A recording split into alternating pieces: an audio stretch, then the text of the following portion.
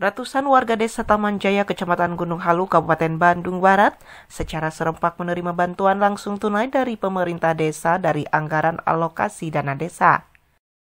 Bertempat di gedung serbaguna desa Taman Jaya dengan menerapkan jaga jarak sesuai dengan protokol pencegahan penularan COVID-19 serta dilakukan pengecekan suhu tubuh bagi setiap warga.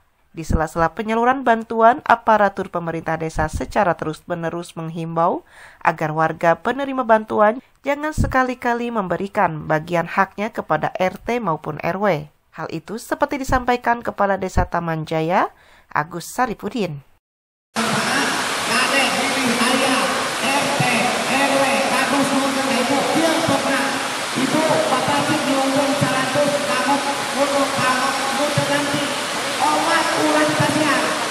Alhamdulillah, saya sebagai kepala desa ingin menyalurkan anus semaksimal mungkin.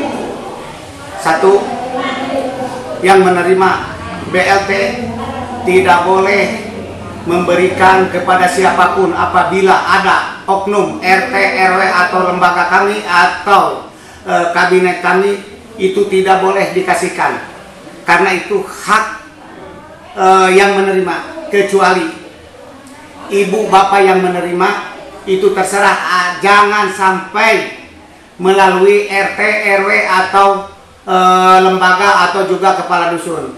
Mohon maaf karena apabila ada kendala hal seperti itu imbasnya ke kepala desa juga.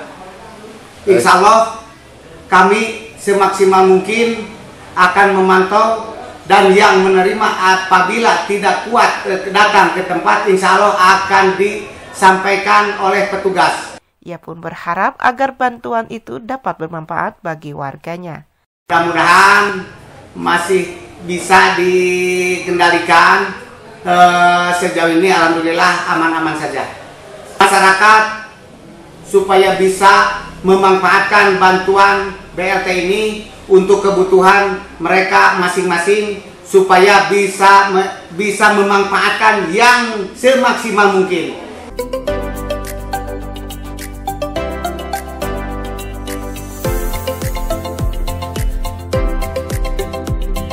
Liputan Lesmana Dodi dan Dudi Kotok Hadas TV.